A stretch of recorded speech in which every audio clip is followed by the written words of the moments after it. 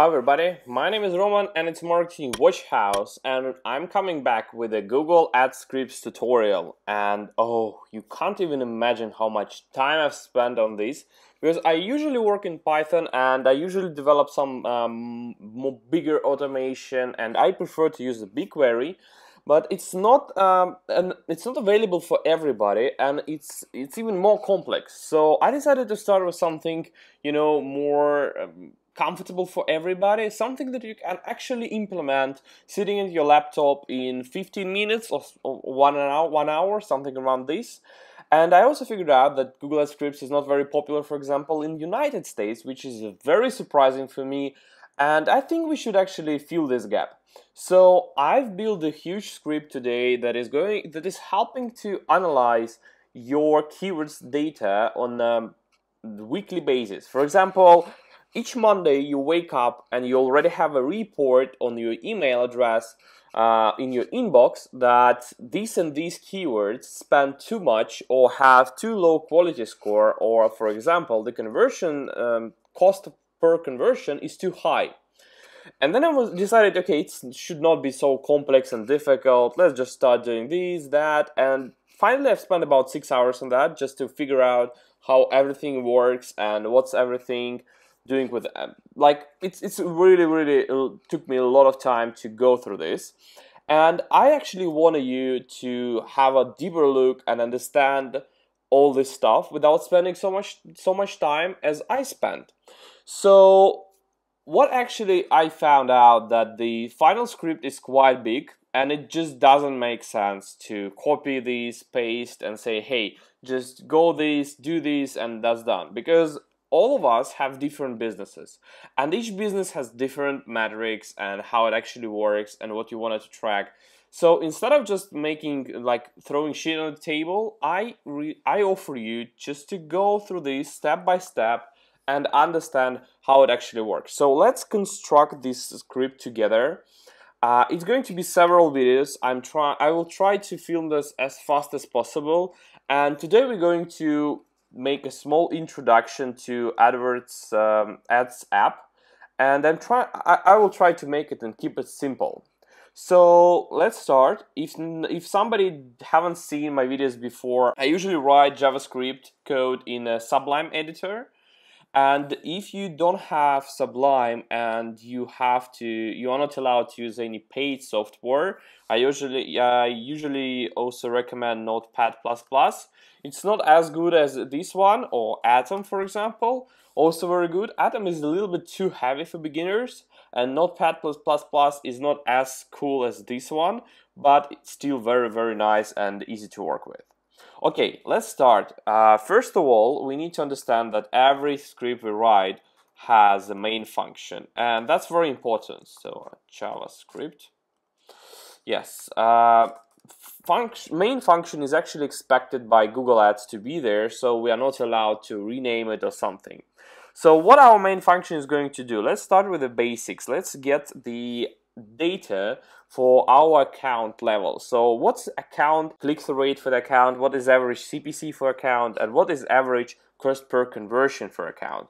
To do that, first we need to understand uh, what is average click-through rate? Is it for this week, for that week, or I don't know, for last 30 days? So we're making one variable on very top, time period. That is going to be one of the predefined values that Google Ads allows to use. So last 14 days is one of them, but you also can do this month or last month, also last um, 30 days you also can use like uh, all time, if I'm not mistaken. Uh, this week, last week, but this week and last week are not very good time periods for analyzing like average data. It's much better for like tracking day by day. And now we're trying to track something on a weekly basis. So to control our account on um, every Monday, for example. So account data is very simple to get. So what we do, we do account data It's going to be our variable. And we need to use ads app. Ads app is actually a class, an object, like treated like a service, something that gives you some information. And ads app have different um, properties inside. For example, you, you, there are campaigns and there are also ad groups there and also keywords. So depending on what you set up there, you can get different level of reporting. For example, sometimes the keyword level is much more uh, appreciated. For example, if you have smaller account, but uh, in most of the cases, you use, usually use ad group or campaign. You also have probably seen my other videos. We usually do the campaign level there. So right now we're going to do current account because we're going to work with accounts, average account metrics. And there is another function that setups get stats for. And this function will actually download data from the cloud to your JavaScript code. So we need to get stats for our time period that we define. And this will uh, oh, it, and this already gives us a huge possibilities. So what we're going to do, we're going to create several variables for future use. TTL stands for total. For example, we're going to have total clicks. And it's very simple. Account data dot get clicks. And then total impressions again get impressions. Total cost. Count data get cost? And then total conversions. Conversions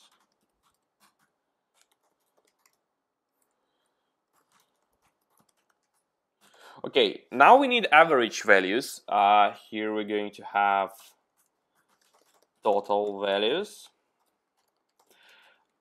Average values also available the same way, but I just wanted to make them have have them different to give them different naming.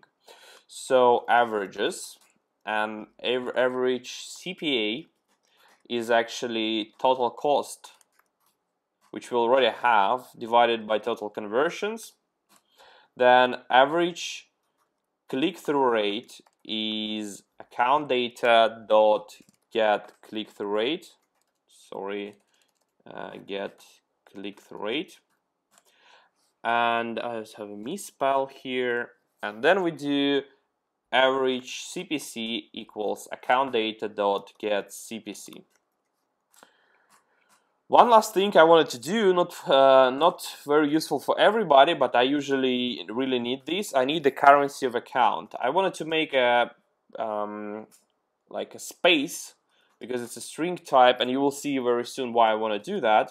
Again, ads app because it's not inside the get stats. It's uh, when you're going to try to get the count, it's not a property of a statistics. It's not a property of a report. It's a property of account itself. So we need to do current account again, and then do get currency code. Get currency code.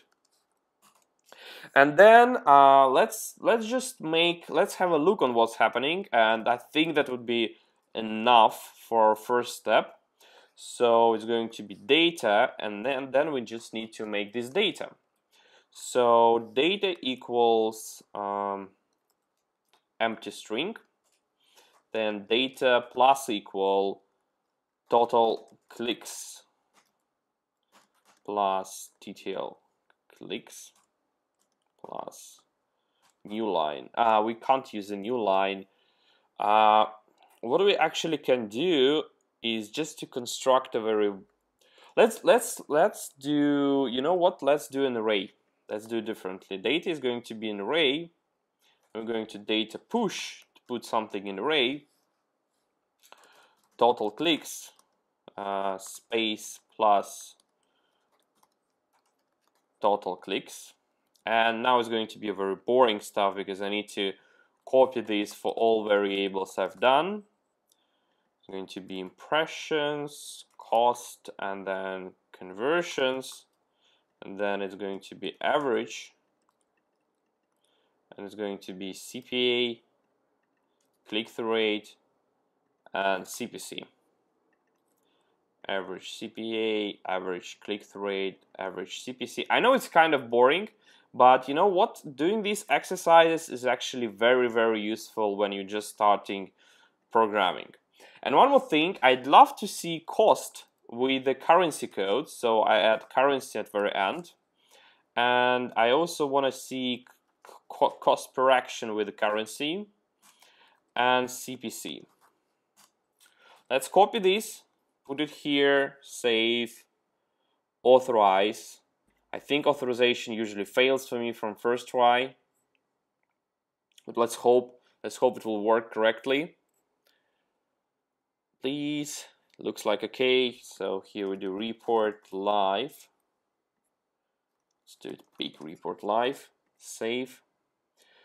And let's have a look what mistakes I have in my code. Okay, there is no get CPC. Um, there is no get CPC. It's because it's get average CPC. Get average CPC.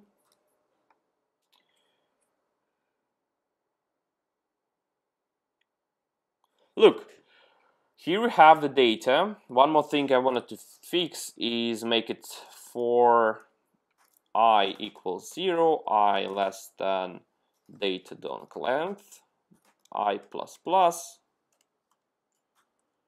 and then we do logger dot data i. So we're going to have a lot of different rows. It's very simple, it's very fast.